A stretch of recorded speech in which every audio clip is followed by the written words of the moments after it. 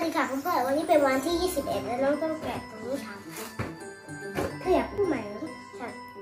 สวัสดีค่ะเพื่อนๆวันนี้เป็นวันที่ 21แล้วต้องแกะตรงนี้ค่ะตอนนี้ฉันเพื่อนๆจะแกะให้คือว่าไม่ไม่ใช่หรอกผู้ชายอยากแกะอันนี้คือของที่เราได้เพื่อนอันนี้คือของที่เราได้จากเพื่อนๆนี่เราตอนนี้เราต้องกิน จะ